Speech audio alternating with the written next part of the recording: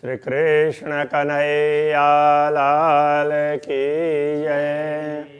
श्री निजानंद स्वामी की श्री प्राणनाथ प्यारे की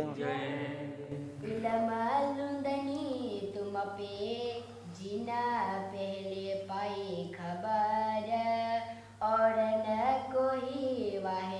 बिना तो इत आवेंगे क्यों कार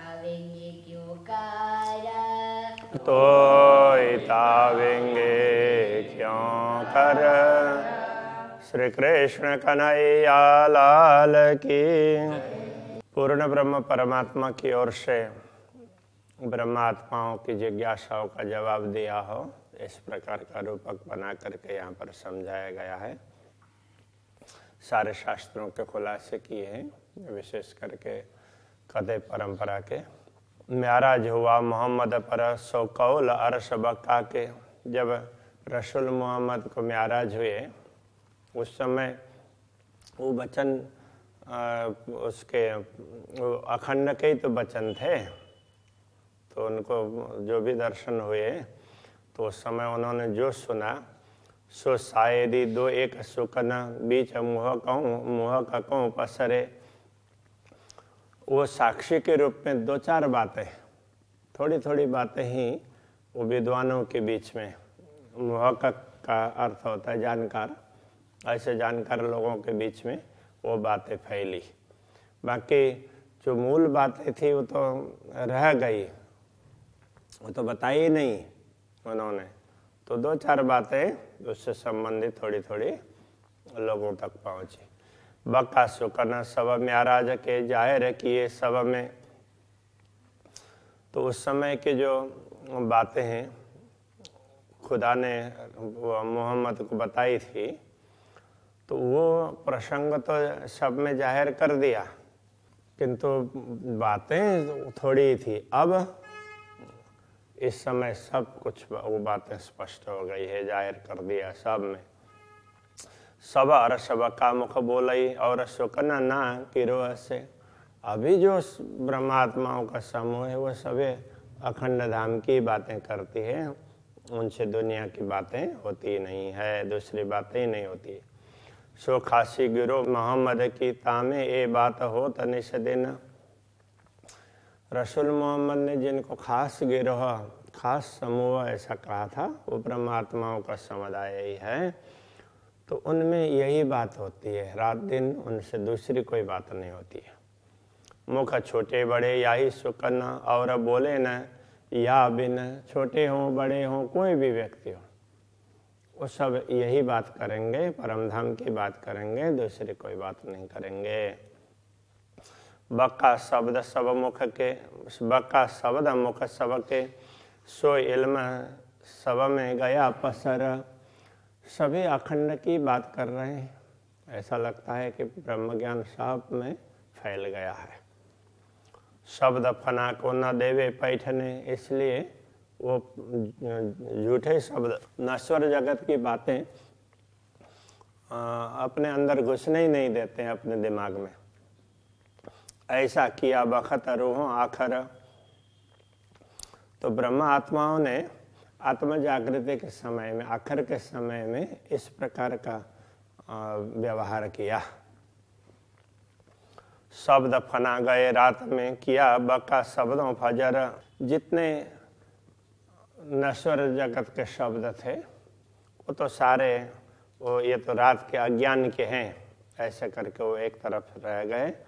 और किया बक्का शब्दों फजर अखंड धाम के वचनों ने फिर ब्रह्म ज्ञान का प्रभात कर दिया। कुफर अंधेरी उड़ गई। कुफर भ्रम, कुफर अंधेरी अंधकार, ये सब मिट गया। बोल पाइए न बक्का बगैर। तो अखंड के बिना कोई भी वचन नहीं मिलते। हैं सभी अखंड की बात करेंगे, न सर झूठ की बात कोई नहीं करेंगे। तो अज्ञान की बातें सब चली गई। एक कया था, अबल, रसुल इताए ये बात रसुल ने पहले ही आकर के कह दिया था ऐसा होगा बोल करके। सो रूहे रूह अल्लाह इमाम फजर करी बनाए। तो अभी जो रूह अल्लाह और इमाम आकर के उन्होंने फज्र कर दिया ब्रह्म ज्ञान का प्रभात कर दिया। ऐसा करेंगे, इस प्रकार की बात पहले रसुल ने बताई भी थी। अब कया इल्म लियावशी आया तीन से ज़्यादा बेशक। पहले कहा था, कयामत के समय पर ज्ञान आएगा। तो मेरा ज्ञान है, वहाँ वहाँ तक के लिए है। उससे आगे तो उस समय जो ज्ञान आएगा, वही चलेगा। ये बोला था, आया तीन से ज़्यादा बेशक। तो उस समय उन्होंने जो बोला था, उससे बहुत ज़्यादा ज्ञान आ गया। सोनी के लिया मोमिनो तो ब्रह्मा आत्माओं ने उसको बहुत पहले भांति ले लिया, स्वीकार किया। पाई अरस मार्फत हक तो उनको पूर्ण ब्रह्म परमात्मा की पहचान हो गई। ए इल्म लिए ऐसा होता है, आप बेशक होता है यात। ये ब्रह्म ज्ञान प्राप्त करते हैं तो ऐसी स्थिति हो जाएगी कि स्वयं को अखंड समझने लग जाएँगे। हम तो अविनाशी हैं, ऐसा समझने लगेंगे। क्योंकि ज्ञान होने का तात्पर्य यही है कि हमें स्वयं का बोध हो। मैं तो आत्मा हूँ, मैं अविनाशी हूँ। यही होगा। और कायम हुए देखे सबको, पावे दीदार बात न हक जात। अब सबको पूरी दुनिया को भी अखंड होते हुए देखेंगे। पावे दीदार बातों न हक जात। हक जात के बातुन कहने का तात्पर्य ब्रह्मात्माओं की गूढ़ बातें अक्षरातीत आमदनी और ब्रह्मात्माओं के बीच के संबंध की गूढ़ बातें हैं, वो भी प्रकट हुई है। और उनका भी, उन उन, वो बातें भी प्रकट हो गई है, इसलिए उनके भी दर्शन हुए हैं। तो ब्रह्मात्माएँ भी प्रकट हुई, अभी तक ब्रह्मात्माओं को किसी ने नहीं देखा था। अक्षरातीत को तो अक्षर ब्रह्म देखते थे, किंतु ब्रह्मात्माओं को किसी ने नहीं देखा था, वो भी ज़ाहिर हो गई है। तो ये ना, वो कते परंपरा में कतेब ग्रंथों में इस रीत से कहा है तो उसी बात को समझा रहे हैं, प्रणा जी।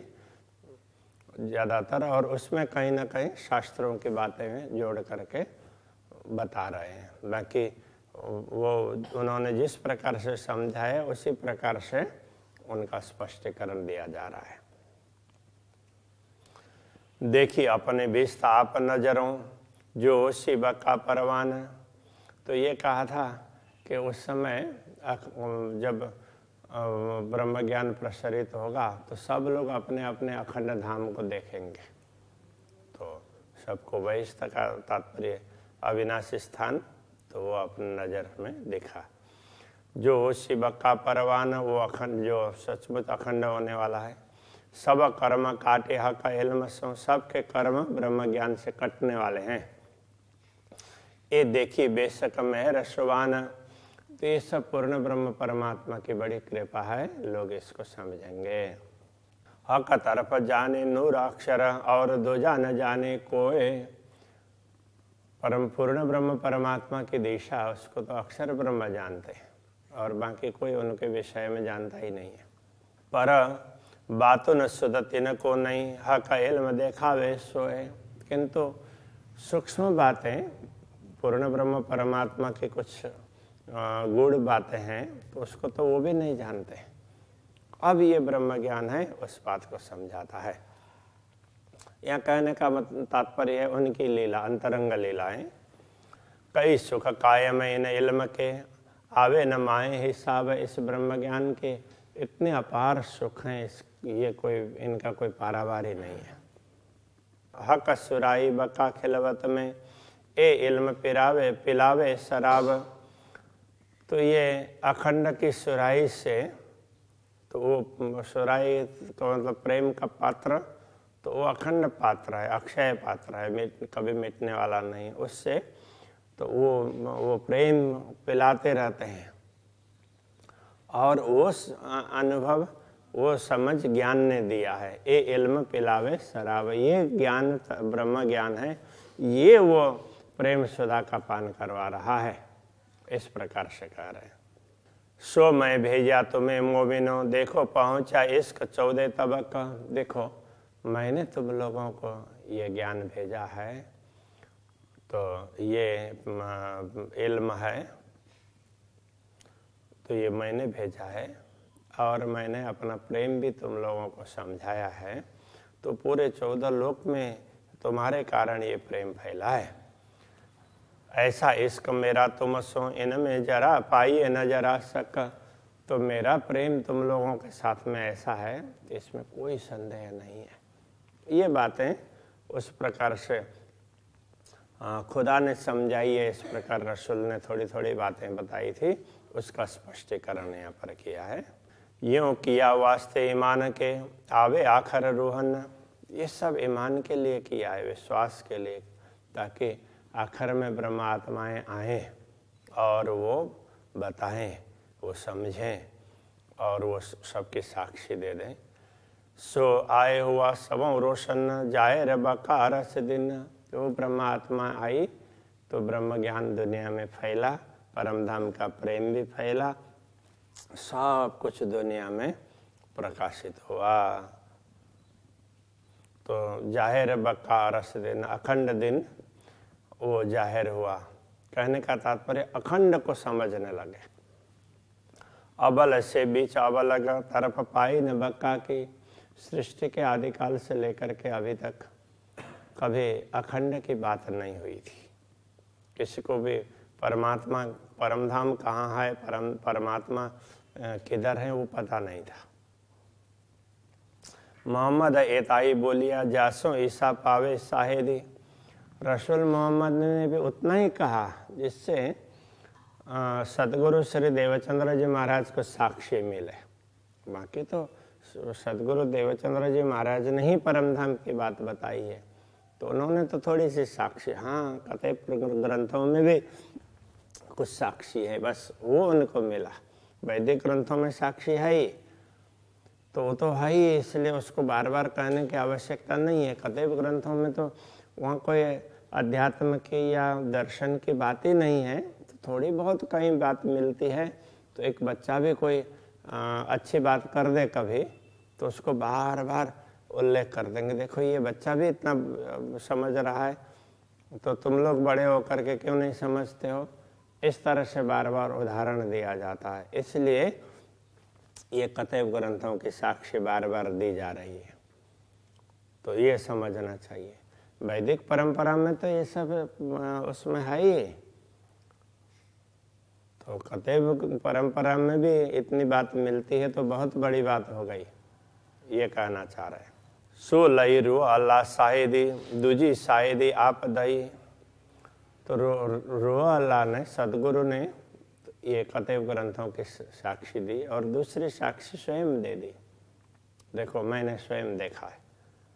त्यों करी इमाम ज़ाहिर ज्यों सब में रोशन भाई। अब इमाम ने तो उस प्रकार से प्रकाशित कर दिया ताकि सब लोग समझ सके, उस तरह से समझा दिया। लई इसे मोहम्मद की शायदी बका ज़ाहिर किया इमाम। ईशा ने, ईशा रोहा अल्लाह कहने से सदगुरु सदगुरु ने रसूल वगैरह, केवल रसूल की ही नहीं है, परमात्मा का संदेश देने वाले जो भी लोग हुए उनकी साक्षी दी। और उन बात का स्पष्टीकरण करके अखंड का बोध करवाने का कार्य फिर इमाम ने किया। तो ईशा का दूसरा जामा मतलब दूसरा शरीर, दूसरा रूप। गहादी रूहन की करी खिलवत ज़ाहिर तमाम। उन्होंने पूर्ण ब्रह्म परमात्मा, श्री श्यामा जी और ब्रह्मात्माएँ तो उन सब के अंतरंग लीला की बातें स्पष्ट कर दी। इन आखिर दिनों इमाम बानी बोले, न बक्का बिन। अब इन आखिरी दिनों में, कयामत के समय में इमाम अखंड की बात करते हैं, उस दुनिया की बात ही नहीं करते हैं। सो सिरले सुकन गिरोह ने कायम किए सवन तो उनके वचनों को समझ करके ब्रह्मा आत्माओं ने फिर पूरी दुनिया को कायम कर दिया। कहने का तात्पर्य, यही वचन लेकर के, यही ब्रह्म ज्ञान लेकर के ब्रह्मा आत्माओं के द्वारा सब लोगों को मुक्ति स्थल का सुख प्राप्त होगा, ज्ञान भी प्राप्त होगा। दुनिया चौदह तबक के दिए इलमे मुर्दे उठाए। चौदह तबक की ये दुनिया है तो वो मुर्दे की तरह से अचेत पड़ी थी तो इस ब्रह्म ज्ञान ने उन सबको जागृत कर दिया। वो मुर्दा उठाना है। ताए मौत न होवे कब हो उनको कभी मौत नहीं होगी उनकी अब। वो अखंड हो जाएँगे। लिए बक्का मीने बैठा, बैठाए, उनको तो अखंड में बैठा देंगे। अब उनको जन्म मृत्यु के चक्र में आने की आवश्यकता नहीं पड़ेगी। ये तो ब्रह्मात्माएँ रहेंगी, तब तक की बात है। बढ़ाई इन इल्म की, क्यों इन मुख करो सिफत? तो ये इस ब्रह्म ज्ञान की महिमा है तो इस मुँह से उसकी क्या सिफत करे? महिमा क्या गाए? सो आया तुम मोमिनो, जाको शब्द न कोई पहुँचा तो वो ब्रह्म ज्ञान तुम्हारे बीच में अवतरित हुआ है ब्रह्मात्मा, जिसकी कोई बड़ाई नहीं हो सकती है। और शराब मेरी सुराई का, सो राख्या था मोह कर। तो अब ये परमात्मा की ओर से कह रहे हैं कि मेरी सुराई का, शराब का तात्पर्य, मेरा प्रेम का प्याला, मेरे हृदय का प्रेम है, वो अभी तक प्रकट नहीं हुआ था, वो शिलबंद था। सो खोलने बहुतों किया पर कोई खो, पर क्यों खोले कबूतर? उसको खोलने के लिए बहुत लोगों ने प्रयत्न तो किया। किंतु जादुई कबूतर की भांति नश्वर जगत के लोग ऐसे कैसे खोल सकते थे? ये शैली कते ग्रंथों की शैली है। सो मैं राख्या तुम्हारे वास्ते सो तुम्हें लियो दिल धर वो तुम्हारे लिए हमने रखा है अब बस तुम ही इसको ग्रहण कर लो। लिखे फूल प्याले तुम ताले अछुत पियो भर भर। तो तुम्हारे ये पूरे भरा हुआ पात्र है, तुम्हारे भाग्य में है, और किसी का छोया हुआ नहीं है, और इसको तुम प्याले भर भर करके पी लो। अब इस प्रेम को। शराब मेरी सुराई का स्वरूप, मस्ती देवे पूर्ण तो मेरे हृदय का प्रेम है, वो ब्रह्मात्माओं को पूरी मस्ती देने वाला है। दे इल्मलुदन निर्लजत तो ब्रह्म ज्ञान तारतम ज्ञान से इसका स्वाद प्राप्त होगा। हक बकार सतन।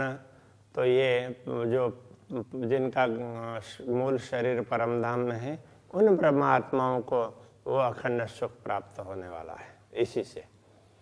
बाकी तो ब्रज रास में भी उनको प्रेम तो मिला ही था। तो उनकी, उनका स्वाद नहीं ले पाए जो जागनी में ब्रह्म ज्ञान के माध्यम से स्वाद लेंगे। ये कहने का तात्पर्य जो बैठे हैं, होए पहाड़ ज्यों, सो उड़ाए असराफिले सूरज। जो लोग पहाड़ की भांति बैठे हैं अहंकार लेकर के बैठे हैं, जिनका अहंकार इतना बड़ा है, सो उड़ाए असराफिले सूरज। उसके लिए इसराफिल फिरिश्ता सुर फूकेगा और सब पहाड़ों को उड़ा देगा, कहा है। तो उनका अहंकार इस तरह से चूर होगा। सूर्य खोले मगज मसाफ के, हुए ज़ाहिर तजला नूर। तो इसराफिल के सुर ने तो बिगुल का स्वर उससे तो वो सब धर्म ग्रंथों के रहस्य खुल जाएँगे और नूर तजल्ला, अक्षरातीत पूर्ण ब्रह्म परमात्मा प्रकट हुए दिखाई देंगे। तब उड़े काफर होते जो पहाड़ से हुए मोमिन बान चूर। तब जो पहाड़ की भांति ऐसे अहंकार लेकर के बैठे हुए वो परमात्मा की बात न समझने वाले लोग थे, वो सब उड़ गए। हुए मोमिनो बान चूर, वो परमात्माओं की वाणी से, वचनों से चूर चूर हो गए। प्रेम की बात होती है तो उस समय फिर ज्ञान का अहंकार इस तरह से मिट जाता है, ये कहने का तात्पर्य है। लगे और बान अर्शैल में, और दूसरी वाणी, परम परमधाम का ज्ञान, अब उनको भी परमधाम का ज्ञान मिलने से वो बात करने लगे, तीन हुए कायम नूर हजूर। तो उन, उनसे ही अब इसी ब्रह्म ज्ञान के द्वारा वो भी अक्षर ब्रह्म के चरणों में अखंड होंगे। कहने का तात्पर्य अक्षर के नज़रों में वो भी अखंड हो जाएँगे। श्री कृष्ण कन्हैया लाल की।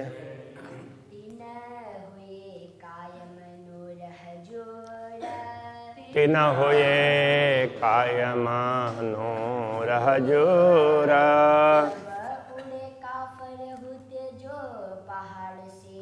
सब उड़े का पर उते जो पहाड़ से।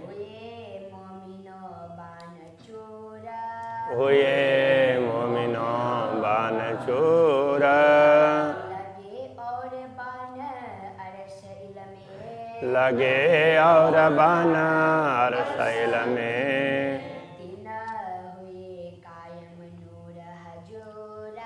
दिन हुए कायम नूर हजूरा